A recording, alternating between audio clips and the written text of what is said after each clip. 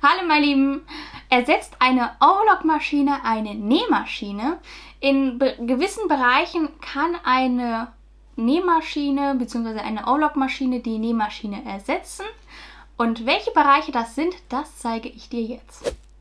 Also ich fange erstmal so ein bisschen an, die Overlock bzw. den Unterschied zwischen einer Overlock und einer Nähmaschine zu erklären. Und zwar eine Overlock also kennt man auch unter einer Versäuberungsmaschine, da sie hauptsächlich da ist, um Stoffe zu versäubern. Und eine Nähmaschine, wie schon der Name sagt, nähen. Das heißt, ich kann mit einer Nähmaschine wirklich alles nähen. Hier kommen wir auch schon dann zum ersten Vor- und Nachteil. Also wenn du jetzt sagst, ich habe eine Nähmaschine da und überlege mir aber eine Overlock-Maschine zuzulegen, dann überlegen viele, naja, dann könnte ich ja die Nähmaschine rein theoretisch ja dann verkaufen, weil ich ja dann eine neue Maschine habe, und zwar die Overlock-Maschine. Das geht aber nicht, da die Overlock-Maschine wirklich nur die Kanten versäubert. Das heißt, wenn du dir jetzt zum Beispiel eine Jeanstasche nähen möchtest, also eine Tasche hinten auf der Hose drauf, dies kannst du nicht mit der Overlock machen, da die wirklich nur am Rand entlang näht. Und eine Nähmaschine, mit der kannst du wirklich auf den Stoff drauf nähen und dann halt gewisse Applikationen oder ähnliches mit einer Nähmaschine nähen.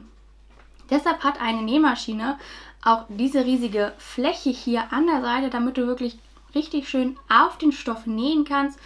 Und der Unterschied ist, sieht man auch gut bei der Overlock, denn die hat hier keine Ablagefläche, da dies einfach bei einer Overlock nicht benötigt wird, weil die wirklich nur an der Kante entlang geht. So, und wie jetzt ein Overlock-Stich bei einer Overlock aussieht, das zeige ich dir jetzt auch. So, ich habe jetzt hier einfach zwei Stücke Stiftchen, die lege ich einfach aufeinander und vernähe diese jetzt einmal mit der Overlock.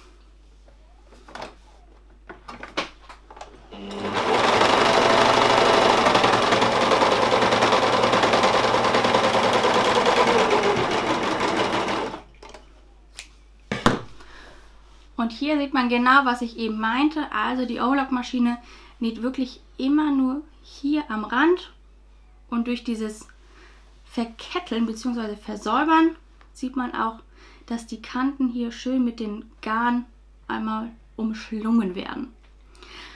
Also hier auch schon, hier werden jetzt vielleicht sagen, ah okay, dafür ist eine Overlock-Maschine da. Das heißt also, wie man schon ein bisschen erkennt, eine Overlock-Maschine wird niemals eine richtige Maschine ersetzen. Aber was viele auch immer denken, naja, dann kann ich ja die Overlock-Maschine weglassen und benutze bei einer Nähmaschine einfach immer einen Zickzackstich. Das ist ja rein theoretisch auch das gleiche. Hier ist es natürlich, wenn du jetzt wirklich schöne Werke nähen möchtest, da sage ich dann immer, hör mal Leute, mit einem Zickzackstich, da wird man nie richtig schön professionelle Kleidung nähen können, da ein Zickzackstich auch nicht diese, diese Last aushält, die eine Overlock-Naht aushält. Man sieht richtig, bei einer Overlock-Naht wird der Faden richtig schön, beziehungsweise wird die Kante vom Stoff richtig schön umschlungen und somit bleibt der Stoff auch dehnbar und wirklich langlebig. Das hast du mit einem Zickzackstich nicht, weil die bei einer Nähmaschine hat ja nur einen Oberfaden und Unterfaden und das wird nie auf langer Frist halten bzw. auch nicht schön aussehen.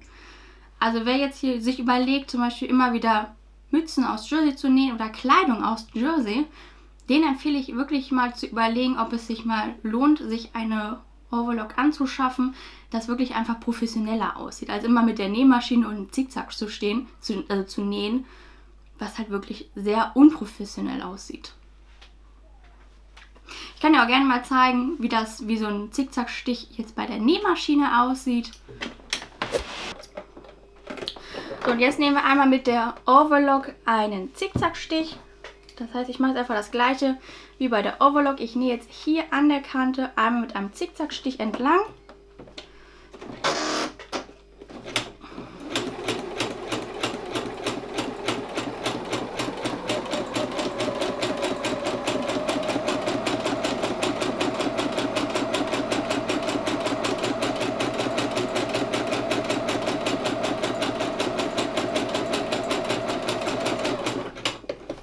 So, jetzt habe ich einfach mal einen Stich also mit Zickzackstich hier die Seite einmal so, als wenn ich jetzt keine Overlock hätte und ich versäuber jetzt alles mit einem Zickzackstich, dann würde das bei dir auch so aussehen.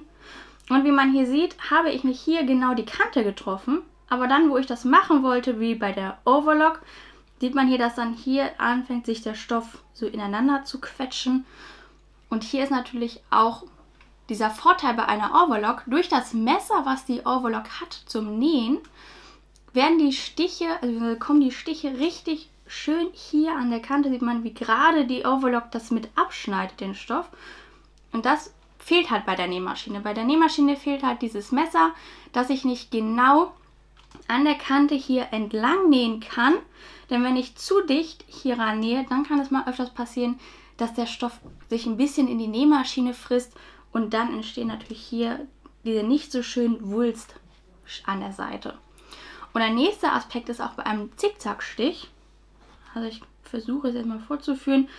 Ein Zickzackstich kann ich ganz einfach wieder lösen, indem ich einfach hier den Unterfaden nehme.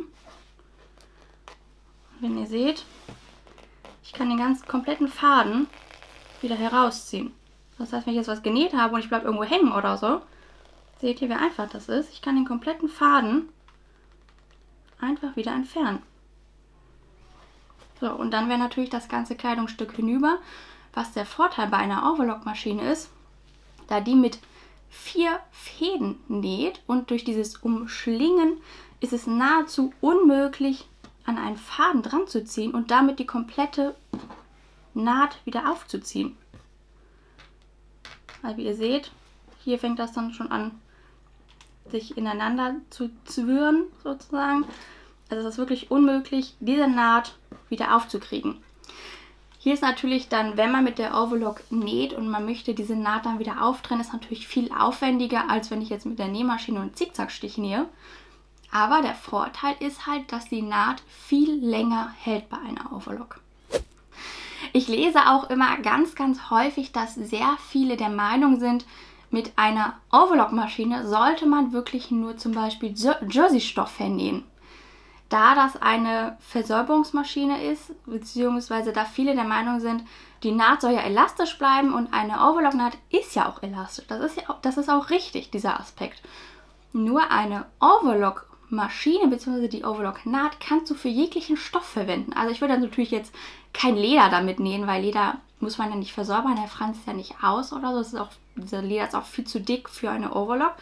Aber Jersey-Stoff, zum Beispiel auch Seide oder ganz normalen Baumwollstoff jetzt hier, den ich hier vor mir liegen habe, der jetzt hier anfängt auszufransen, das kannst du alles mit der Overlock machen. Dafür ist sie ja da. Sie ist ja zum Versäubern und zum Vernähen in einem da. Also das heißt, ich kann wirklich, also viele sagen ja nein, man sollte nur Jersey damit nähen, aber wofür soll ich dann eine Overlock holen, wenn ich äh, nicht alle Stoffe damit vernähen kann? Also hier, du kannst Jersey, Baumwollstoff, jegliche Stoffe, die du zu Hause hast, kannst du wirklich beruhigt mit der Overlock vernähen und versäubern in einem. So, ich hoffe, ich konnte dir mit diesem Video wieder ein wenig weiterhelfen. Unser Fazit für heute, die Overlock-Maschine und die Nähmaschine sind wirklich zwei komplett verschiedene Maschinen und haben natürlich auch beide ihre Vorteile. Und wenn du dir jetzt überlegst, ich möchte Kleidung nähen, wo die Nähte sehr, sehr lange halten sollen und auch schön aussehen sollen, dann wäre vielleicht eine kleine Überlegung wert, sich mal so eine Overlock-Maschine genauer anzuschauen und sich vielleicht auch eine zuzulegen. Ich hoffe, ich konnte dir mit diesem Video wieder ein wenig weiterhelfen. Wenn du irgendwelche Fragen haben solltest zu Thema Nähmaschine oder zum Thema Overlock, dann schreib diese gerne unten in die Kommentare. Ich wünsche dir einen wundervollen Tag. Bis zum nächsten Mal. Deine Jana.